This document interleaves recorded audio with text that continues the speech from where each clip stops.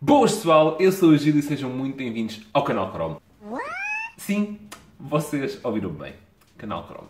E desde já vou explicar o porquê de ter mudado o nome de Football Cards Portugal para canal Chrome. Pessoal, não é segredo nenhum que o meu canal estava morto. Estava e continua a estar morto, apesar que o feedback foi incrível. Uh, nunca esperava, depois de passar tanto tempo sem meter vídeos, eu ainda tive um feedback quase mil views por vídeo. E desde já quero agradecer aos fiéis que estão desse lado, que veem sempre todos os vídeos, que mandam mensagens para o Instagram a perguntar Gil, para que não voltas? Gil, para que não tens mais vídeos? E a todos vocês eu agradeço e ao mesmo tempo peço imensas desculpas. Peço desculpa porque vocês, quando eu metia 3 vídeos por semana, vocês estavam sempre lá. Vocês estavam sempre lá a deixar aquele like, aquele like gostoso, deixar aquele comentário que me deixava mesmo muito feliz mas infelizmente foi um ano difícil para mim. Tive problemas pessoais, tive problemas na minha vida, toda a gente os tem, e deixei-me ir um pouco abaixo aqui no canal do YouTube. Quero, de certa maneira, reinventar o canal, sempre falando de cromos, mas mudando, digamos, um pouco o conceito. Como vocês repararam, já não há intro, porque eu acho que era hum, algo que afastava muitas pessoas um, ehm, do, do, canal, do canal quando abri um vídeo e vi logo numa intro de 15 segundos o pessoal, pá, fechar isto. E também me deu o nome porque canal Chrome eu acho que é muito mais apelativo que Football Cars Portugal. Se uma pessoa, por exemplo, no Brasil, apesar que no Brasil não se diz Chrome, mas eles sabem que Chrome quer dizer eh, figurinha, porque eles dizem figurinha, mas quando eles veem o nome Portugal, se calhar já ficam um pouco reticentes, já ficam um pouco pé atrás e mesmo que seja nacional qualquer, alemão, espanhol, uh, fica um pouco retraído. E assim será uma maneira de atrair mais público ao canal. Apesar, apesar de, mesmo sendo estrangeiro, não perceber o, a língua, o que está aqui é cromos. Sai no país deles. E por isso, e também penso que seja uma maneira mais fácil de atrair pessoas aqui ao canal e de aumentar o meu número de inscritos, que também é esse o objetivo, não é pessoal? Poder atrair o maior número de pessoas para este, esta paixão, este amor que é o colecionismo de cromos, neste caso futebol. Antes de mais, então, quero-vos pedir então uma grande ajuda, que é o vosso apoio. O vosso apoio é demonstrado com, com likes. É a vossa maneira que vocês podem retribuir, digamos aqui, agradecer de trazer vídeo para vocês, que agora vai ser uh, pelo menos um vídeo por semana. Pelo menos um vídeo por semana, quando chegar à altura do Mundial 2018, irá haver mais vídeos frequentemente mas então quero então pedir o vosso apoio, deixar aquele like gostoso, daí bater aí em cima. Não custa nada, pessoal, não custa mesmo nada.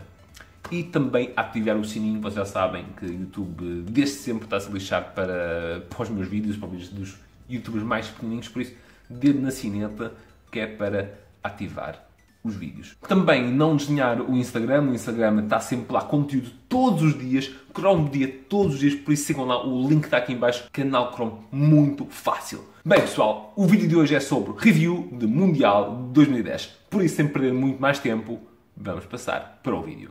Muito bem pessoal, cá estamos nós aqui no nosso estaminézinho aqui a caderneta. A minha cara não está aqui porque iria estar a tapar parte da caderneta, por isso não fiquem confusos, continua a ser eu aqui a falar deste lado. E temos então aqui o álbum do Mundial de 2010, álbum que foi organizado pela África do Sul. Temos aqui a capa, capa que honestamente eu gostei muito, muito mesmo. O álbum em si também gostei, apesar de não ser o meu preferido. Bem, temos aqui então o logotipo aqui de uh, South Africa 2010, aqui uh, álbum licenciado pela Panini, ou o álbum oficial da Panini, e temos aqui as 32 bandeiras das seleções apuradas para este Mundial, que foi ganho então pela Espanha. Muito bem, pessoal, temos então aqui a introdução, vocês já sabem, temos aqui vários países em várias línguas. Depois começamos aqui então com o cromo de Calciatore, aquele cromo típico que praticamente aparece em todas as coleções. Temos aqui o cromo do Fair Play, Mundial, a taça, outra vez o logotipo, aqui mais uma parte aqui do logotipo, a bola, a Jabulani, que tanta malta disse que era uma valente bosta. Bem, passar aqui então aqui para a frente. Temos aqui uma página dedicada a estádios, estádios que sinceramente eh, nem todos para mim eram bonitos. Eu gostava muito, muito deste estádio aqui, que era o estádio de Durban, e gostava muito aqui do Joanesburgo, que foi onde foi a final, se não estou em erro. Depois temos aqui este póster que era Kenako, Celebrate Africa's Humanity. Aqui o póster oficial. Temos aqui uh, o continente africano com uma cara. E depois temos aqui então a mascote, que por acaso era muito fixe, o Zakumi, e se não estou em erro até houve desenhos animados sobre isto. Acho que foi um dos uh, eventos da FIFA mais aproveitados a nível uh, televisivo. Pronto, vocês já sabem, cromos estádios numa caderneta do Mundial é obrigatório. Panini, por favor, Mundial 2018 tem de trazer. Fazer aqui uma publicidade. E começando aqui pela equipa organizadora, South África, África do Sul. Eu não vou dar aqui muito destaque às mais pequenas, apenas aos grandes jogadores. Uh, e a certos momentos tenham sido importantes neste Mundial na África do Sul fica ligado a este Mundial por ter marcado o primeiro gol desta competição que foi marcado por este senhor aqui, o Chabalala, contra o México, se vocês estão bem lembrados. Temos aqui Benny McCarthy, passou o futebol português, e claro, Steven Pienaar, um, um jogador, o jogador mais reconhecido talvez da seleção sul-africana. Isto é o grupo A, temos quatro equipas, temos a África do Sul, o México, México que uh, passou, não, não passou nada esta fase, ou passou? Não estou a lembrar, pessoal. Passou, passou. Passou o México e o Uruguai. A França é que ficou fora do caminho, aquele Mundial lindo que eles fizeram. Rafa Marques, claro. Uh, Chicharo Hernández ainda jogava no Chivas. Guadalajara. Carlos Vela, Giovanni dos Santos, uh, Ochoa, que fez um Mundial a seguir muito bom, Mundial de 2014. Uruguai, que seria quarta classificada neste Mundial e já apresentava grandes nomes. Aliás, tem aqui o melhor jogador da competição, Diego Forlan, que na altura jogava no Atlético Madrid. Depois temos aqui Luís Soares, Edison Cavani. Temos aqui uh, Loco Abreu, Sebastião Abreu, Álvaro Pereira jogava no Porto, Cristiano Rodrigues jogava no Porto, Maxi ainda no Benfica, Diego Lugano, uh, Diego Godin, Caças, Fuchila, eu Fuchila, o Muslera era sem dúvida uma grande, era e é uma grande seleção. Eh, é uma seleção que pode sempre surpreender em mundiais e em grandes competições. França, talvez a maior desilusão deste mundial, não tanto pela, pelo ter sido eliminado, mas pelo que fizeram, pela greve que eles fizeram durante o Mundial de 2010. Se vocês estão bem lembrados, o treinador Ramon Domenech uh, teve, digamos, um confronto, um conflito com vários jogadores, aliás, que levou então até ao abandono de Nicolas Anelka da concentração da França. Uh, relembrar também que a França qualificou-se num playoff polémico contra a Irlanda, em que Thierry Henry, com uma mãozinha marota, uh, desviou a bola para William Gallas ter marcado o gol que daria a qualificação à França. Uh, ver quem é que está aqui. Então, a Thierry Henry, um jovem Benzema de 22 anos, Franck Ribéry, a promessa na altura que era Korkuf, que não se confirmou, Eric Abidal, uh, Lori, Bakary Sagna, Patrick Serva, Alassane Diarra, Alain, era sendo uma equipa uh, com aspirações para ir mais longe. Grupo B, Argentina, que apresentou um bom futebol, mas que viria a ser dizimada pela Alemanha por 4-0. A Argentina que era liderada por nada mais, nada menos por eh, Diego Armando Maradona. Temos aqui ainda caras que estão presentes no, na seleção argentina neste momento, como Otamendi, né, convocado. Temos uh, Mascherano, que deverá ser o seu último Mundial. Di Maria, Higuaín, Agüero, Messi. E depois temos aqui jogadores já, já retirados. Milito, uh, Verone, Samuel, Heinz, Zanetti. Sendo uma seleção uh, que joga muito. Eu gosto muito de ver jogar que é a seleção argentina liderada por este homem, Lionel Messi, um dos melhores do mundo.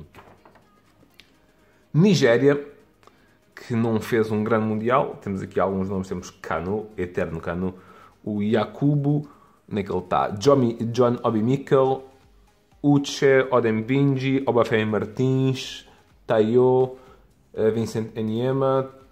Uma seleção com alguns bons jogadores. Passamos aqui para a Coreia do Sul, onde temos aqui o jogador mais em destaque, é Park Ji-sung, já retirado o antigo jogador do Manchester United. Depois temos aqui o jogador que passou então pelo Bolton Wanderers, o Lee Chu-young. E onde é que ele está? O jogador que passou pelo Borussia Dortmund, isto é ele, Lee Jung-pyo. A Grécia, na altura, liderada sempre por Fernando Santos. Ver quem está aqui presente, jogadores presentes que já passaram por equipas portuguesas. Temos então Seitaridis, passou pelo Futebol Clube do Porto. Temos Katsuranis Karagunis, que passaram pelo Benfica. Inglaterra eh, também foi uma desilusão neste, neste Mundial. Temos aqui David Beckham, que não foi convocado para este Mundial, mas vocês já sabem, a Panini faz sempre uma pré-convocatória dos jogadores uh, antes da, da convocatória real. Temos aqui então David Beckham, temos Frank Lampard, Steven Gerrard, uh, Gareth Barry, Theo Walcott, Wayne Rooney, Peter Crouch, David James, John Terry, sem dúvida são sempre com grandes nomes, mas que ficou uh, pelo caminho muito cedo. Estados Unidos, Estados Unidos aqui com alguns nomes já reconhecidos a nível continental.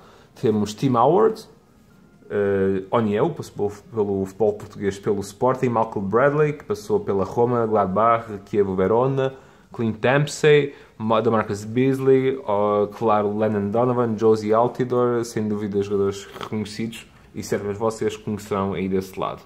A Argélia, onde tínhamos também uma seleção que não estava presente há, há muitos anos no Mundial e quem é que tivemos aqui presente? Que reconhecido. Uh, pois daqui acho que temos apenas o Iebda. O Iebda que na altura jogava no Portsmouth, mas já tinha tido uma passagem pelo Benfica. E temos aqui o Rafik Alisha, que jogava no Nacional da Madeira. Uh, temos onde? Temos aqui mais alguém conhecido ou não? Temos aqui o Ziani, que jogava no Marselha, e temos o Gezal. E não temos assim mais grandes jogadores que vocês poderão reconhecer, ou que eu até mesmo possa reconhecer. Eslovénia, temos aqui um jogador que na altura jogava em Portugal, que era o Petnik. Samir Andinovic, guarda-redes agora do Inter Milão, na altura na Udinese. Temos aqui o Carino, que na altura foi uma promessa do futebol europeu, jogando no Inter Milão. Walter Birsa e não temos assim muito mais. A Alemanha, que deveria ser a terceira classificada deste Mundial, a Alemanha que sempre com grande seleção. Temos aqui, por exemplo, uh, Philipp Lahm, Mertzacker, Balak, que não viria a ser convocado por uma lesão causada por uh, Gero, não, o Kevin Prince Boateng na final da taça de Inglaterra entre o Portsmouth e o Chelsea. Na altura, até quem ele era o número 13 da seleção e até hoje o número 13 da seleção alemã é o Thomas Müller. Schweinsteiger, Mesut Ozil, Klose, Podolski, Mário Gomes. Austrália, seleção sempre presente nestes últimos mundiais, vai estar presente também agora em 2018, liderada por Tim Cahill. Temos aqui Eric Hewell, na altura um grandíssimo jogador, já na sua fase decrescente da carreira. Marcos Vaz, guarda-redes, passou muitos anos na Premier League. Sérvia, que foi um pouco agridoce neste Mundial, uma Sérvia sempre com grandes nomes, como vocês podem ver. Temos aqui Nemanja Vidic, uh, Ivanovic, Kolarov, Subotic, uh, Kuzmanovic, Stankovic, Krasic. Tínhamos aqui mais o Jovanovic, que na altura foi para o Liverpool. E esta seleção apenas ganhou um jogo e foi contra a Alemanha. Perdeu contra o Ghana e perdeu contra a Austrália. O futebol tem essas coisas, coisas estranhas, não é? E ficaram uh, muito cedo uh, fora deste Mundial de 2010. Temos aqui o Ghana, onde temos aqui alguns jogadores conhecidos, vocês certamente reconhecerão. Michael Essien, Montari, Asamoah, jogador da Juventus, Asamoah que falha aquele penalti contra o Uruguai que daria a qualificação para a inédita meia-final de uma equipa africana. Até hoje é o limite de uma equipa africana, foi o Ghana em 2010 e os Camarões em uh, eh, 1990. Holanda, que viria a participar nesta final, seria a vice-campeã mundial pela terceira vez. A seleção holandesa já tem três finais de campeonatos do mundo em 74, em 78 e em 2010. Foi sem dúvida uma seleção que jogou muito à bola neste Mundial 2010 que foi liderada por este homem, Snyder, eh, que na altura até exigiram a bola de ouro para Snyder e eu pessoalmente concordo. Concordo porque Snyder ganhou a Champions com o Inter, ganhou, ganhou tudo pelo Inter e chegou a esta final levando-a às costas. Temos também Arjen Robben, Van Persie, Untelar, De Jong, Van Bommel, sem dúvida uma seleção uh, com muito talento. Dinamarca. Dinamarca que, sinceramente, não me lembro que figura é que fez neste Mundial, mas não, não dá ter sido muito mau nem muito bom. Temos então aqui Daniel Agger. Temos mais quem mais? Jondal Thomason, o Lord Bentner, uh, Christian Poulsen E Dinamarca que neste ano de 2018 é uma seleção que eu espero uma surpresa, com liderado por Christian Eriksen, grandíssimo jogador do Tottenham. O Japão, aqui já com alguns jogadores eh, vocês reconhecerão, temos Nagatomo, eh, Keisuke Honda, Asebe, Nakamura, Okazaki, uh, pois, e, e, não, este é o Nakamura, este aqui é o reconhecido Nakamura, que acaba aqueles livros espetaculares no Celtic. Este é o Okazaki, que está no, no Leicester, muito novinho na altura, 23, 24 anos. E pronto, estes dois também são reconhecidos. E este, que está o Uchida? E o Uchida, que depois foi para o Schalke 04. Camarões, sempre também com bons nomes. Qualquer seleção tem bons nomes, não é pessoal? Mas os Camarões têm aqui grandíssimos jogadores. Rigobert Song, Guilherme Nukulo, Asue Koto, Alexandre Song. Uh, tínhamos o Emmanuel que na altura jogava a bola, estava a jogar muito a bola no Betis. Uh, Samuel Eto'o, Webo, mas foi uma seleção que ficou pela fase de grupos. Itália, grande desilusão também neste Mundial, ficou pela fase de grupos, era na altura a campeã em título. Buffon, Cannavaro, Chiellini, Zambrota, uh, Di Natale, Camoranesi, Marquisio, Pirlo, Gattuso, De Rose. Pronto. O que é que se passou? Não se sabe. Paraguai. Paraguai que passou esta fase de grupos e perdeu contra a Espanha uh, nos penaltis, não estou em erro. Foi nos penaltis que perderam. Ou sei que o Cardoso foi um penalti. Agora não tenho certeza se foi contra a Espanha. Uh, temos então aqui Oscar Cardoso, Valdés e Roque Santa Cruz. Pronto, não temos assim grandes vamos apontar nesta seleção paraguaia. Nova Zelândia, Nova Zelândia que não tem mesmo nada, mas que neste Mundial uh, cometeu a proeza de sair sem nenhuma derrota e sem uma vitória. Três jogos, três empates não se podia pedir muito mais. Eslováquia, que fica recordada pela vitória, aquele grandíssimo jogo frente à Itália, ganha 3-2. Temos aqui uh, o homem que ainda hoje é o líder da seleção, que é Marek Amsik.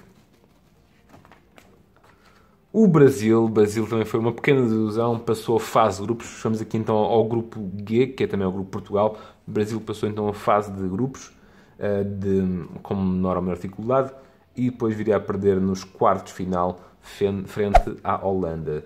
Relembrar, temos aqui Ronaldinho, que já não foi convocado para este Mundial, uh, Rubinho, Nilmar, uh, Adriano, Kaká, Felipe Melo, Elano, Daniel Alves, Maicon, Luizão, Lúcio, Júlio César. É uma seleção boa, mas não se pode comparar a outras seleções que o Brasil já teve no passado e que agora também tem no presente. Coreia do Norte, que também fica na memória por ter perdido 7-0 contra Portugal. Costa de Marfim, também sempre com bons nomes, Didier Drogba, Kalu, uh, Gervinho, Romaric, uh, Zokora, Touré, uh, Colo Touré, seleção africana, talvez na altura a mais forte uh, do continente africano.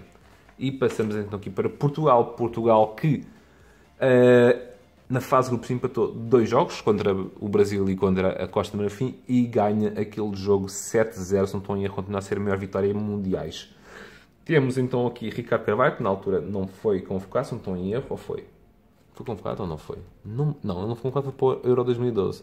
Mas pronto, Ricardo Carvalho, Eduardo, Bruno Alves, Pepe, Bozingo, Paulo Ferreira, Tiago, Duda, Meireles, João Moutinho, Miguel Veloso, Deco, Nani, Simão, Cristiano Ronaldo, Lietzen, nacionalizado, naturalizado português, e Hugo Almeida. Foi um mundial que a gente foi pela Espanha nos oitavos final 1-0, num jogo que a gente, um jogo sem muita história, nós jogámos muito bem e a Espanha, numa das poucas ocasiões, fez o golo. A Espanha campeã, uh, que viria a ganhar o campeonato do mundo, frente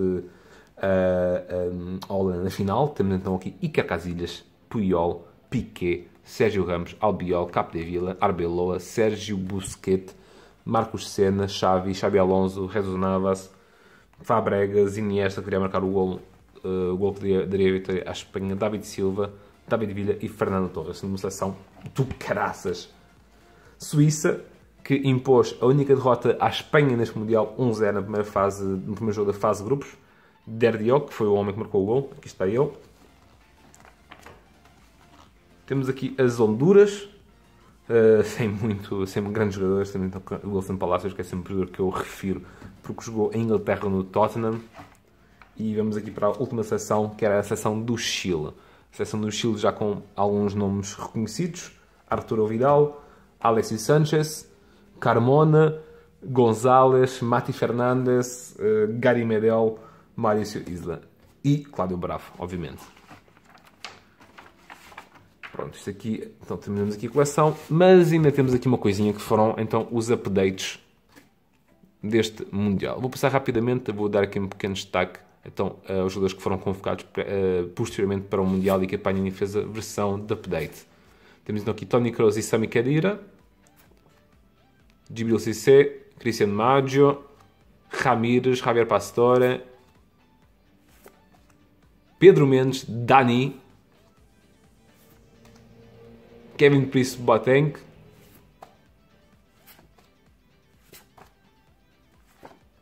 Manuel Neuer, Thomas Müller, Jörg Butt, James Milner, Carragher, Bonucci, Valbuena, Burdiço, Bolatti, Júlio Batista, Grafici, o Miguel Jesus, que gordo, Jesus, mano. Christian Eriksen, que vai ser certamente a figura desta Dinamarca no Mundial 2018.